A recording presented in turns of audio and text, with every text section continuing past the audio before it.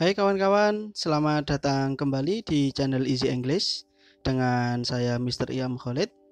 Uh, kita kali ini akan melanjutkan materi sebelumnya yakni pembahasan UN Bahasa Inggris tahun 2006. Ini soal pertama ada bacaan Rainforest cover about 10% of Earth. Hutan hujan meliputi sekitar 10% dari uh, bumi kita. Tetapi mereka mengandung 90% dari total eh, hewan-hewan dan tumbuhan-tumbuhan yang ada di dunia ini. Hutan hujan itu ditemukan di bagian yang terpanas dari bumi dan mereka terletak di sebuah area dari uh, bagian tropis uh, Cancer rasi bintang Cancer menuju ke bagian tropis Capricorn. Area ini keduanya terletak di sekitar uh, ekuator, garis ekuator atau garis katulistiwa. Hutan ini disebut dengan hutan hujan karena hutan ini biasanya uh, hujan hampir setiap hari. Cuaca di hutan ini selalu panas dan juga lembab. Hutan hujan utama terletak di Amerika, Afrika, dan juga Asia. Area yang paling luas dari hutan hujan ini berada di daerah Amazon yang ada di Amerika Selatan. Di sini ada three times larger. Ada waktu ada tiga waktu yang lebih luas. Uh, di sana di sini tiga tem, uh, tempatnya itu tiga kali lebih luas daripada yang ada di seluruh penjuru Indonesia. Indonesia itu terdiri dari hutan hujan, tetapi banyak dari hutan hujan tersebut yang sudah digunduli. Beberapa kebakaran juga merusak hutan yang ada di Indonesia. Lebih khusus lagi selama musim panas. It is hard now to reforest the bare land. Dan sekarang kondisinya sulit untuk menanam kembali hutan-hutan yang ada di eh, tanah lapang yang sudah terbakar tersebut. Soal pertama, dari teks tersebut bisa kita simpulkan bahwasanya eh, hutan hujan mencakup bla bla bla dari bumi kita. Jadi kita lihat di sini hutan hujan itu hanya mencakup 10% berarti dia hanya sedikit sekali, maka jawabannya adalah a small part. Kalau 90% itu 90% itu bukan salah. Most juga kebanyakan sama kayak ini, all juga sama. Jadi jawaban yang paling sesuai adalah a small part. Kemudian we can find rainforest, kita bisa menemukan hutan hujan di mana? Di sini jawabannya on each equator. Both side of equator. Jadi ada di sini between the two trop eh sorry sorry on each equator. Nah, jadi jawabannya adalah on each equator. Lanjut lagi. The weather is always hot and humid. Paragraf 2. Paragraf 2 hot and humid. Jadi soalnya ada di bagian ini. Apa arti dari kata yang digaris miring, yakni humid? Humid itu artinya adalah lembab. Nah, lembab. Kalau hot artinya adalah panas. Wet artinya adalah basah. Kemudian dry artinya adalah kering. Sementara warm artinya adalah hangat. Maka lembab ini lebih cocok artinya adalah yang wet atau basah. Seperti ini ya.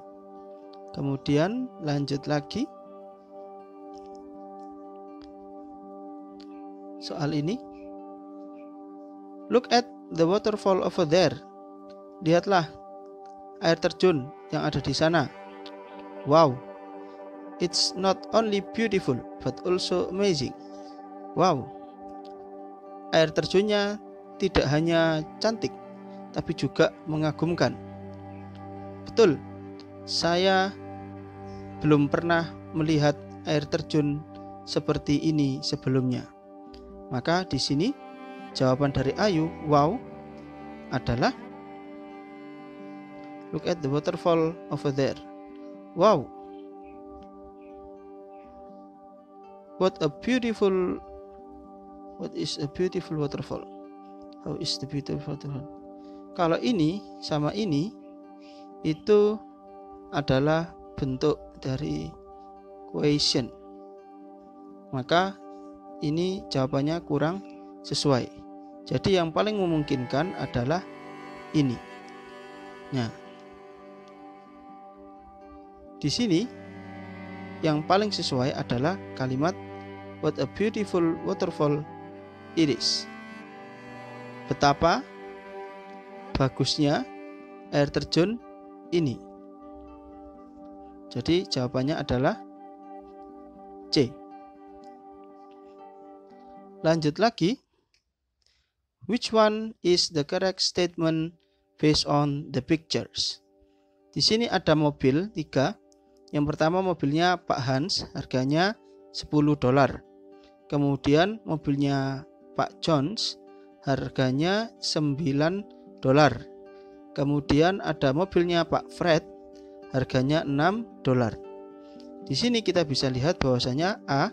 Mr. Hans car mobilnya Pak Han adalah yang paling murah di antara yang lainnya. Ini jawabannya salah. Karena Pak Hans ini yang paling mahal. Paling mahal. Ini paling murah. Mobilnya Pak Fred adalah yang paling mahal eh mobilnya Pak Fred lebih mahal daripada mobilnya Pak Jones. Pak Fred lebih mahal dari Pak Jones ini juga salah. Mr. John's car is as cheap as Mr. Fred's. Mobilnya Pak John itu harganya setara murahnya dengan mobilnya Pak Fred. Ini juga salah. Maka jawaban paling cocok adalah D. Mob, eh, mobilnya Pak Fred itu the cheapest of all, yang paling murah dari mobilnya yang lainnya yakni mobilnya Pak John dan Hans. Jadi Pak Fred ini adalah paling murah. Is the cheapest of all. Maka jawabannya adalah ini. Oke.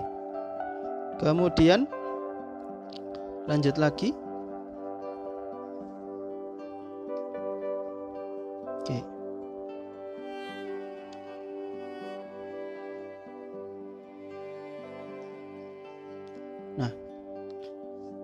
Why do you come home late? Mengapa kamu pulang terlambat? Tanya si ibu kepada si Gifar. There was a school football match, Mom. Ada pertandingan sepak bola sekolah, Bu. Bla bla bla bla. Saya menontonnya lebih dulu dengan teman-teman. Maksudnya si Gifar ini uh, lebih memilih untuk nonton dulu baru kemudian pulang. Sehingga disapa oleh ibunya mengapa kamu pulang terlambat? Ibunya bilang don't do it again without telling me before. Jangan gitu lagi ya kalau nggak bilang ibu lebih dulu. Gifar oke okay, bu. Maka di sini jawaban yang paling cocok there was a school football match mom nah, ini adalah penyebab dari dia pulang terlambat. Maka di sini yang paling cocok jawabannya adalah so. Ada sebuah pertandingan sepak bola sekolah, Bu. Jadi, saya melihatnya dulu dengan teman-teman baru kemudian aku pulang. Kata si Gifar. Maka jawaban paling sesuai adalah so. Next. Teacher dan Ega. Now tell me what orchid you found at Senayan Orchid Garden. Sekarang ceritakan kepadaku tentang apa bunga anggrek yang kamu temukan di eh, kebun anggrek Senayan. Saya tidak menemukan bunga anggrek yang sedang kita cari, Pak. Bla bla bla, teacher. Oh sorry, ini teacher di bawah seharusnya ya, sorry. Maka Mia jawabannya, uh, teacher, what are you kidding? What are you kidding? Bapaknya berkata, apakah kamu bercanda? No sir. Di sini uh, Ega dan Mia sama-sama tidak menemukan.